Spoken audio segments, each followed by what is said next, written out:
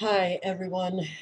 In my six years of posting, I have to say the hardest part of this is in the recent years watching so many subscribers have to suffer the consequences of the weather events, of of all of the poisons that we are subjected to coming down with very serious medical medical conditions, hearing from subscribers, husbands, having heart attacks and dying, hearing from subscribers who are young, young in their 20s and 30s and 40s getting diagnosed with conditions, the weather events, the fires. So I got this email today from a subscriber Prayers requested. We have a major fire in our area. We are safe. It is two, three ridges from us and wind blowing away. At this time, our pastor Russ's son, Mike, and his family and Mike's in-laws have lost their homes. It is believed the Feather River Hospital can't evacuate and are sheltering in place. Many friends evacuating now. Went from 10 acres to now over 8,000. It's now, the last I heard, 18,000, and it started this morning at 6 a.m. Many people can't get out and are sheltering in place. The entire town of Paradise is evacuating. And based on my research of just a few minutes ago, it seems that the town of Paradise, I don't know if anything is left. We have been chemtrailed beyond belief for nearly the past two weeks, and we believe they stopped a couple of rainstorms, haven't had rain, and this is absolutely not normal. Normally, we've been drenched with rain by now. Please be in prayer. Many people are trapped, no structure, protection, emergency personnel just trying to save lives. Please ask everyone to pray. And I am asking all of you to please honor this request.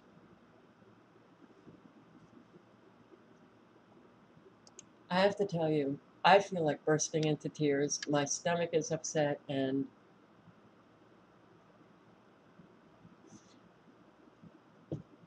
this is paradise. Here's another house, uh, Sunset Oaks.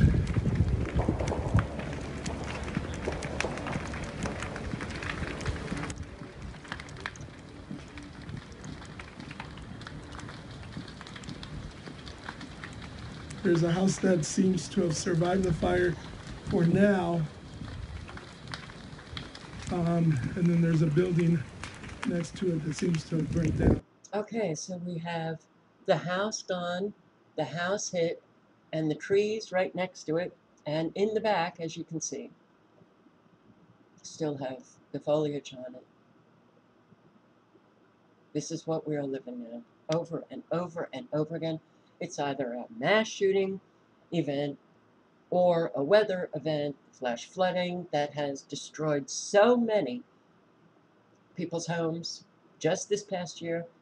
These fires destroying people's homes targeted hits. I will link below to everything, but I have to tell you, this is really, really hard. Um, it's, it's bad. We are following other news in this area.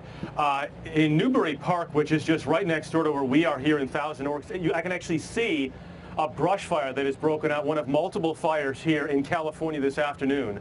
Uh, right next to Thousand Oaks, where the mass shooting occurred. Farther north, uh, wildfires burned at least 18,000 acres. Terrible conditions for fires here in California today. This is uh, cleared out the town of Paradise, the one you're looking at on your screen right now. Rachel Wolf from our CBS Sacramento station, KOVR, has more. The fire in the foothills of the Sierra Mountains turned day into night. Right about a half a mile up this road. We're being told by crews that it's fully engulfed in flames. 30,000 residents were told to evacuate. By early afternoon, with wind gusts of 40 to 60 miles per hour, the fire was exploding and nearly doubled in size. Randy Bartell was surprised by the speed of the fire. Yeah, it was tough. I mean, we had to drive through flames on both sides of the mountain. At one point, a California Highway Patrol deputy was trapped. We are totally surrounded by fire. I have people in the car and the road is blocked. We need assistance immediately. At this point, because of the blustery conditions, they're not doing plane drops, instead using helicopters which can drop the water lower. At this point, though, the fire is 0% contained. Back to you, Jeff. Rachel, thank you very much. All right. Um, We're going to have more on this shooting later on here, but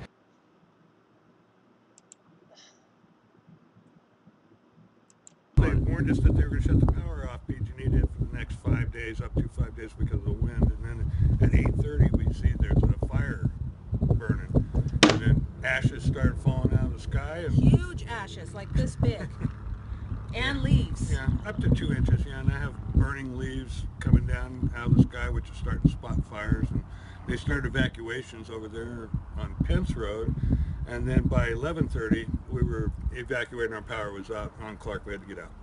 Oh, the picture was one when I was leaving at 11:30, coming out on Clark Road. Then the flames right across the road was on fire, plus the trees up and down Clark Road were on fire when we were coming out, and that's right by the airport.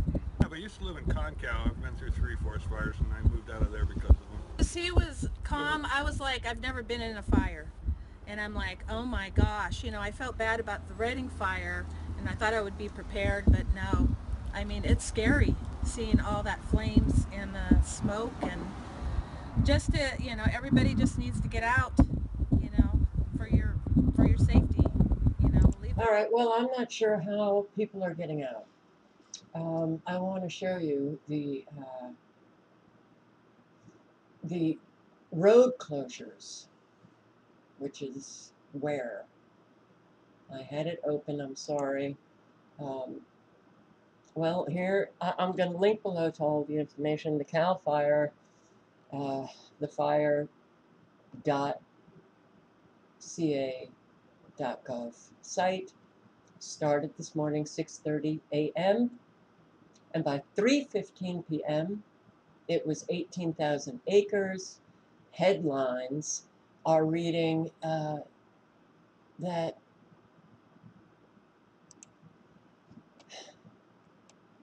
Camp Fire devastates paradise near Chico.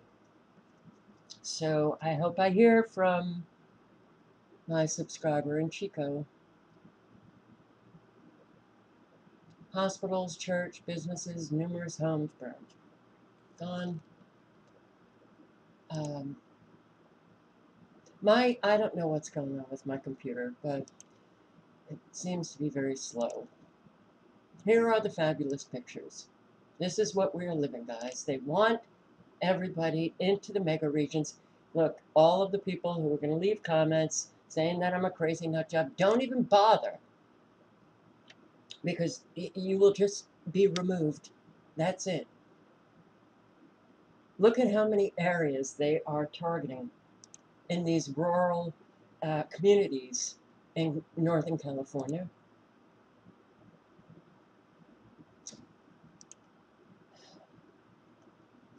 And they are setting off more and more fires, wanting people who have not experienced a fire yet to just move. When you see all of these fires taking place, I'm sure people in California especially are just feeling like it's only a matter of time and they don't understand that this is an orchestrated agenda. But we who do understand, are you not feeling sick to your stomach watching this over and over again? Because I am. The it's kind of scary to see the road closures.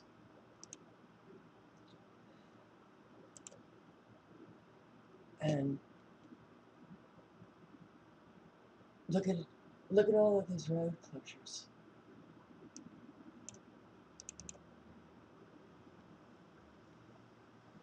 How are people getting out of this area? Chico. So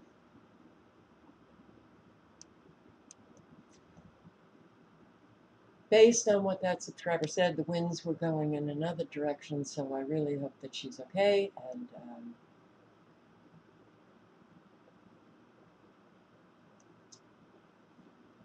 I will link below.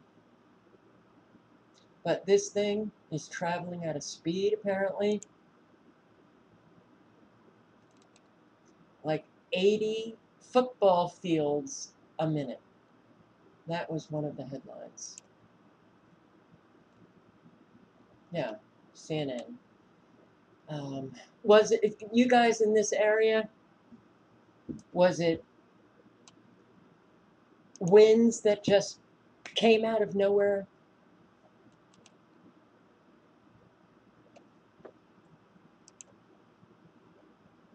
I the whole place was in flames. Residents flee as Camp Fire tears through California towns, so they're blaming this on a campfire. Evacuation routes were clogged with people attempting to flee. This, these are the latest. This is the latest news coming out now. Concerns about whether they could escape.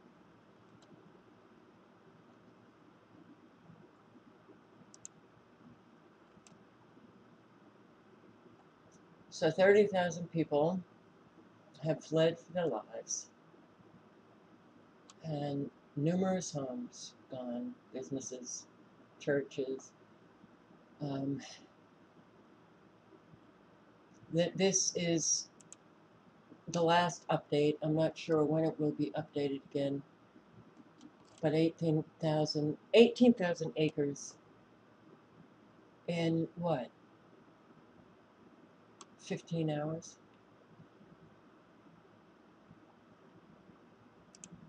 Please,